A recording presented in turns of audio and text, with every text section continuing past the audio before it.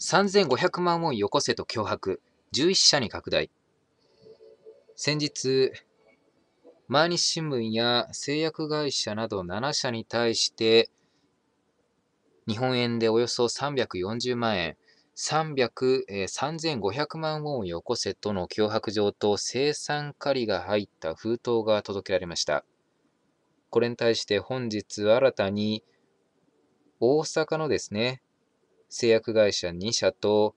東京都内の製薬会社と食品会社の2社にも同様の脅迫状が届いたことが明らかになりました。